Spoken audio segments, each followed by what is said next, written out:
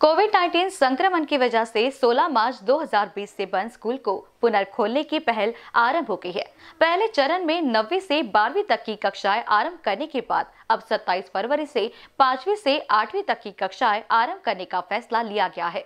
जिलाधिकारी रविंद्र ठाकरे एवं जिला परिषद के मुख्य कार्यकारी अधिकारी योगेश कुंभेजकर ने गुरुवार को यह जानकारी दी। उन्होंने कहा कि विद्यार्थियों को स्कूल भेजने वाले पालकों से इस संदर्भ में लिखित सहमति ली जाएगी। उन्होंने कहा कि स्कूल खोलते समय कोविड 19 के संक्रमण को रोकने के लिए जारी किए गए दिशा निर्देशों का पालन किया जाएगा। इससे पहले नौवीं से बारहवीं कक्षाएँ आरंभ की गई थी।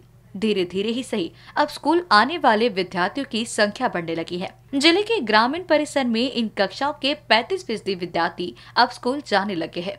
कक्षा आरंभ होने से पहले शिक्षा विभाग ने विद्यार्थियों को सुरक्षित दूरी रखने स्वच्छता रखने एवं स्कूल के समय का पालन करने का निर्देश दिया था। ग्रामीण में पाँचवी से आठवीं कक्षा की 1,810 से अधिक स्कूलें हैं। विद्यार्थियों की संख्या डेढ़ लाख से अधिक है तो सोलह हज़ार सौ शिक्षक है। बहरहाल, अब भी कोविड 19 का प्रकोप आरंभ है। ऐसे में जिला परिषद सभी स्कूलों को सैनिटाइज करेगा। कुंभेजकर ने कहा कि विद्यार्थी, शिक्षक एवं कर्मियों के तापमान जानने के लिए हर स्कूल में थर्मल गन उपलब्ध कराई जाएगी।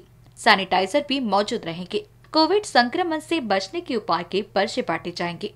कैमरा पर्सन राजकुमार मोहट के साथ अभिषेक पांसी की रिपोर्ट।